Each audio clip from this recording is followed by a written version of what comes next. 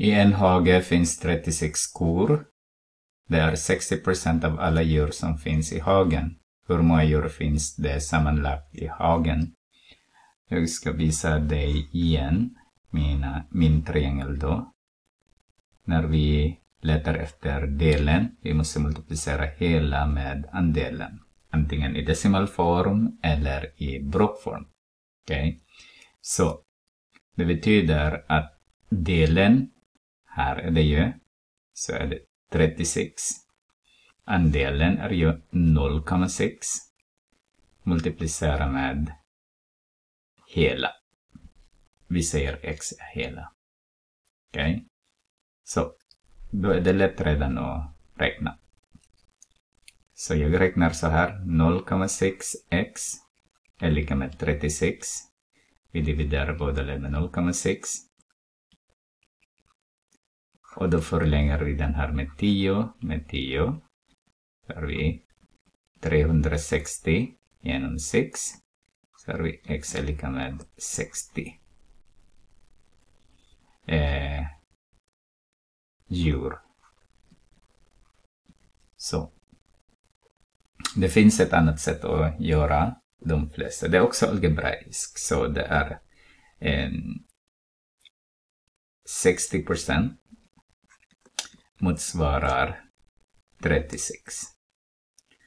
Och eh, 100 vet man inte, så skriver man x. Och sen dividerar man x med 36 och sen 100 med 60.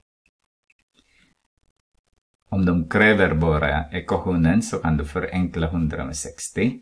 Eh, du kan ta med 20 till exempel. Så det blir x genom 36 är ju 5, 3.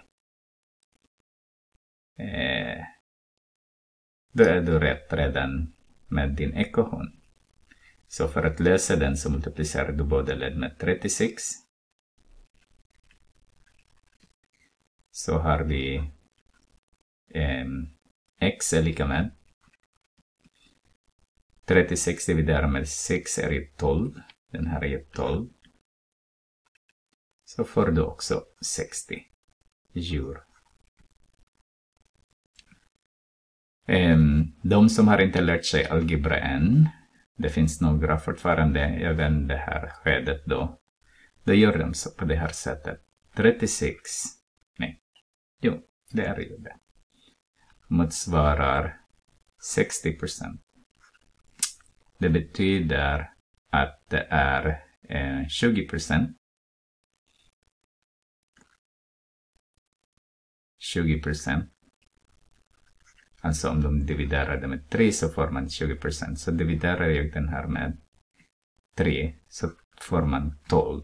Så 20 procent är 12 kor. Så om jag multiplicerar den här med 5, den här med 5, då får jag 100 procent som motsvarar med 60.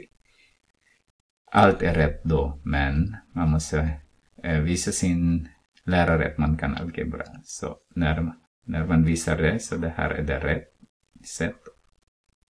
Och den andra då, den här x genom 36 är lika med 5 tredjedelar. Det är också rätt att visa.